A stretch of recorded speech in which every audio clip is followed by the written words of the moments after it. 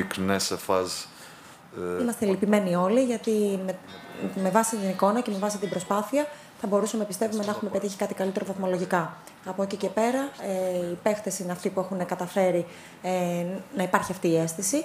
Δούλεψαν πάρα πολύ μέσα στον αγώνα. Έχουν καταφέρει να προσφέρουν όμορφες βραδιές στον Ολυμπιακό και με αυτόν τον τρόπο θα συνεχίσουμε. Παίξαμε στα ίσια μια πολύ μεγάλη ομάδα, από τις μεγαλύτερες στην Ευρώπη.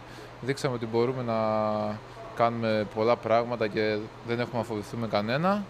Και νομίζω αυτό κρατάμε από το σημερινό αγώνα και συνεχίζουμε είτε στο πρωτάθλημα είτε στην Ευρώπη να, να φέρουμε ακόμα καλύτερα αποτελέσματα.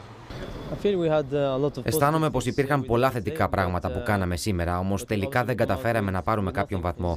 Φυσικά δεν είμαστε ευχαριστημένοι από αυτό. Θέλαμε να πάρουμε κάτι από το παιχνίδι και είχαμε τις ευκαιρίες να το κάνουμε. Άρα, ναι, είμαι απογοητευμένο. Οι δύο ομάδες ήταν, ήταν σχεδόν το ίδιο. Ε, προσπαθήσαμε να, να δείξουμε τι είμαστε, τι δουλεύουμε καθημερινά με τον προπονητή. Ε, δείξαμε, δείξαμε ότι είμαστε όλοι μαζί ενωμένοι.